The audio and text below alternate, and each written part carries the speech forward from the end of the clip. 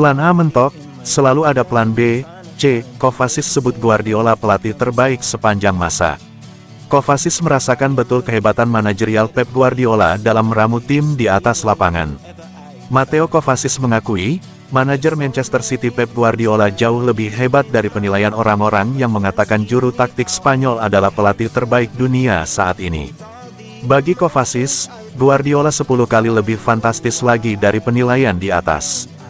Gelandang Kroasia itu benar-benar menikmati musim debutnya bersama The Citizens setelah angkat kaki dari Chelsea di bursa transfer musim panas kemarin. Kovacic menambahkan, Guardiola adalah sosok yang tak perlu lagi diperdebatkan bahwa dia adalah pelatih terbaik yang pernah ada dalam sejarah. Segala sesuatu yang saya dengar sebelumnya tentang Guardiola, saya alami secara langsung dan bahkan 10 kali lebih baik. Tidak lebih, tidak kurang, saya sangat terkesan. Saya kira, Kesederhanaan dalam pertimbangannya adalah penyebab terbesar kesuksesan dia. Guardiola itu sangat teliti. Dia selalu punya plan B atau C untuk diimplementasikan ketika plan A tidak berjalan.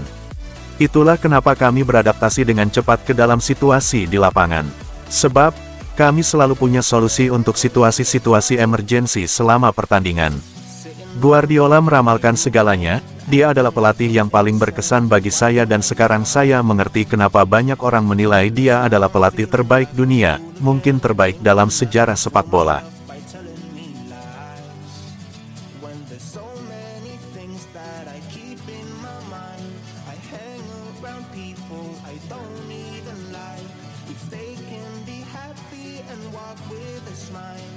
Dituding Guardiola tukang ngambek, Cancelo ngamuk. Hubungan Pep Guardiola dan Joao Cancelo tidak baik-baik saja.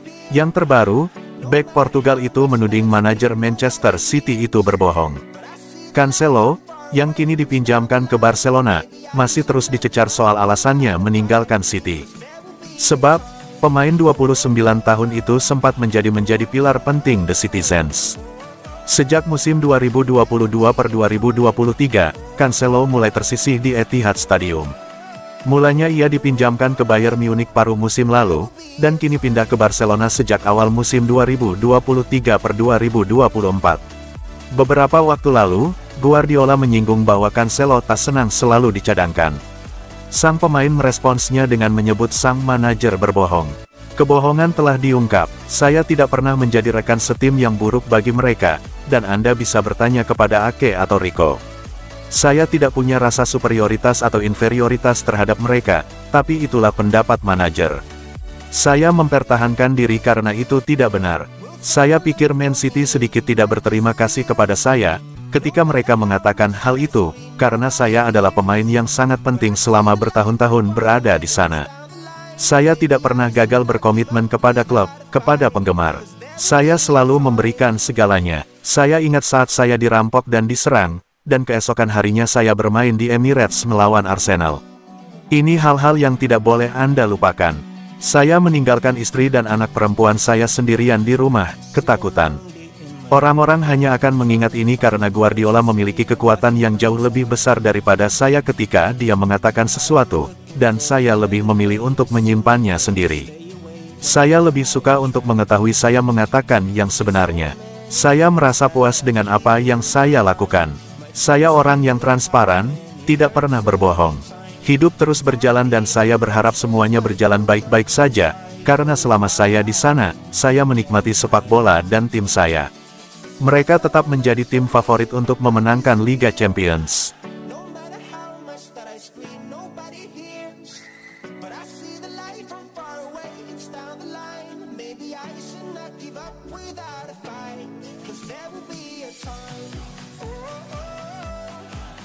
Masuk daftar belanja Man United dan Man City, Joshua Kimmich tetap relaks. Manchester United dan Manchester City dikabarkan tertarik mendapatkan tanda tangan Joshua Kimmich pada musim panas tahun ini. Meski diburu klub-klub elit Premier League, Kimmich mengaku tetap relaks. Pemain timnas Jerman tersebut merupakan satu di antara pilar penting di Bayern Munchen. Joshua Kimmich sudah menjadi andalan di lini tengah Dairoten berkat performanya yang apik dan konsisten. Namun, Belakangan ramai beredar kabar jika Kimmich akan cabut dari Bayer pada musim panas nanti. Kontraknya bersama The Bavarians akan habis pada tanggal 30 Juni tahun 2025, dan hingga saat ini sang pemain belum mau memperpanjang kontraknya bersama Bayern Munchen.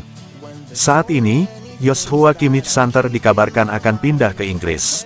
Manchester United, Manchester City, dan Arsenal dilaporkan berminat pada jasa gelandang berusia 29 tahun tersebut.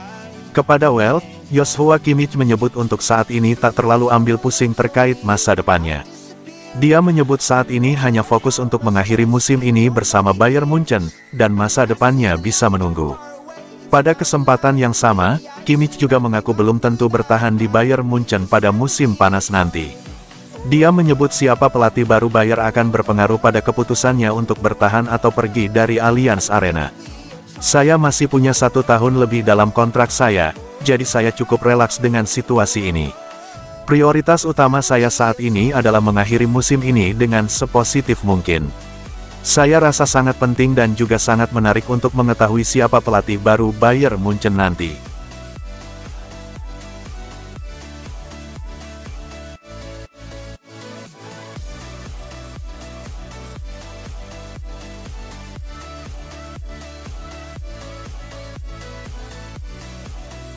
Demi Hica Kvaratskhelia, Man City siap tumbalkan Jack Grealish.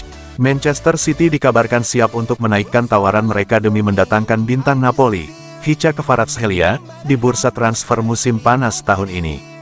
Dilansir dari tim Talk, Manchester City tengah mempersiapkan diri untuk mendatangkan penyerang Napoli, Hica Kvaratskhelia, di musim panas.